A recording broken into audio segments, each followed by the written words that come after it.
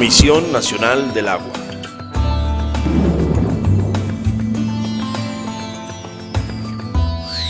Señoras señores, el Servicio Meteorológico Nacional le informa que continúa su viaje al noroeste el ciclón tropical Both allá en el Pacífico y que se localiza unos 650 kilómetros al suroeste de Manzanillo. Su giro provoca una afluencia de nubosidad hacia la región eh, occidente y, lo que es el sur del Pacífico, en donde habrá eh, precipitaciones de fuertes a muy fuertes en Jalisco, en Michoacán, en el estado de Colima, en Guerrero, en Oaxaca, muy fuertes también en Tabasco y el estado de Chiapas, serán moderadas en la península de Yucatán.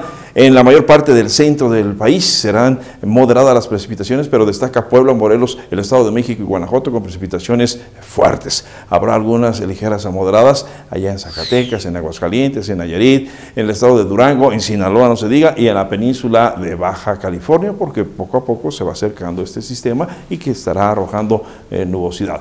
En tanto que la mayor parte del, del norte de la República continúa con un ambiente mucho más seco, mucho más soleado y por supuesto con temperaturas muy, pero muy elevadas. El caso de 46.5 grados Celsius en el Cubil, nuevamente Sonora con la temperatura más elevada en la República Mexicana. Para este jueves 24 de mayo esperaremos aquí en la capital del país una temperatura máxima de 25 a 26, la mínima de 11 a 12 y el cielo, pues el cielo un poco más húmedo, de medio nublado, parcialmente soleado por la mañana y por la tarde aumentando la nubosidad, estando aún nublado, con precipitaciones, ya decíamos, de ligeras a ocasionalmente moderadas.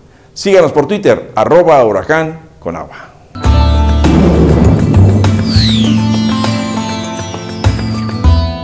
Comisión Nacional del Agua.